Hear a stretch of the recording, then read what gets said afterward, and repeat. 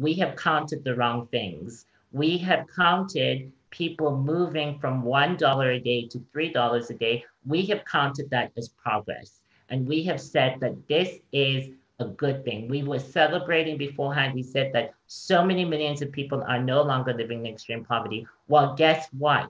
Right now, that number has doubled. And so we need to be more ambitious in terms of what we count, these minimum thresholds that we've embraced when it comes to thinking about progress and thinking about e- equality actually don't provide the kind of resilience that the most impoverished communities in the world need in order to withstand the worst manifestations of any crisis.